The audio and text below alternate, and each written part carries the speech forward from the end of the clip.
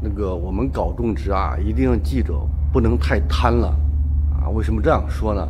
刚才就有朋友给我发信息说啊，柴哥，你能不能给我推荐一个番茄的品种？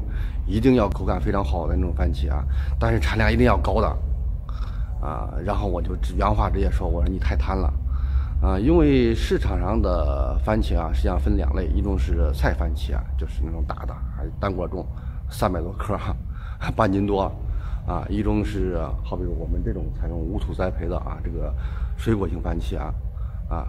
这个单果重多少呢？平均下来八十克，相当于什么？相当于是是菜番茄的啊四分之一啊。但是口感，那可以这样说吧，它是要比这个很多水果都好吃啊。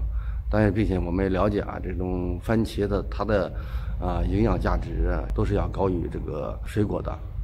所以说我对我们朋友啊在种植端这一块去选择啊。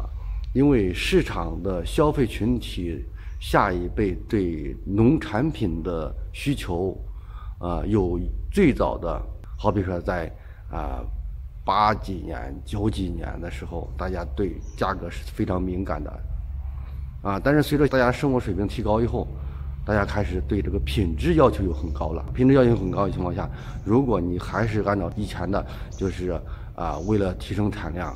然后没有任何底线的去做，然后压低价格，啊，这样情况下，实际上你是搬起石头砸自己的脚，啊，因为毕竟消费群体改变以后呢，那么以后对产品的好比说啊品质，啊啊农药残留啊营养价值啊都会有相应的一个提升，所以对我们种植户来说啊，一定要跟着市场的需求来去调整我们的种植观念。啊，这样情况下才能保障我们种植的这个农产品呢，很顺顺利的啊销售出去啊，不至于出现积压。我们看每年哪个产品滞销，滞销的一个最后结果是什么？都是常规的产品滞销。你见过什么样的高品质的产品去滞销过呢？是不是？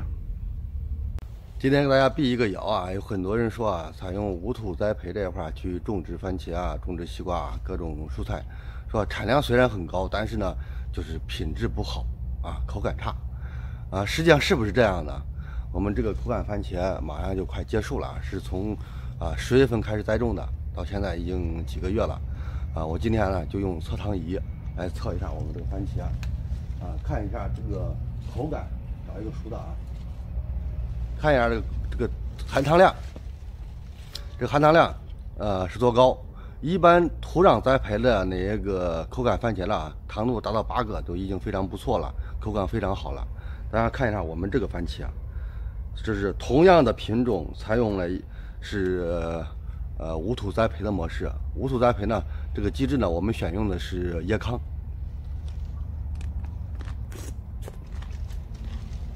我们把这个番茄的汁液滴到这个测糖仪。好，我们检测一下，数值出来了，不知道大家能看清不能？啊，十十点二个糖，什么概念呢？十个十点二个糖，一般的水果 能上十个糖都很不错了。所以说，采用无土栽培这一个，对口感提升是非常有好处了。啊，反过来说，很多人说，你你为什么说就是采用这个无土栽培？这个糖度会这么高呢？原因实际上很简单的，无土栽培呢本身它也属于一种现根栽培。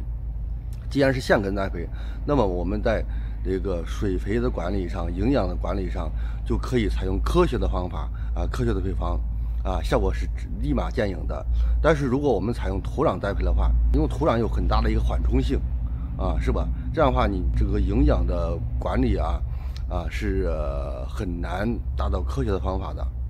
这个就是采用无土栽培和土壤栽培的一个很大区别啊！再一个呢，我们一般在后期，同样也会采用了一个控水控肥的方法，去来提升这个农产品呢它的啊糖度、它的口感的。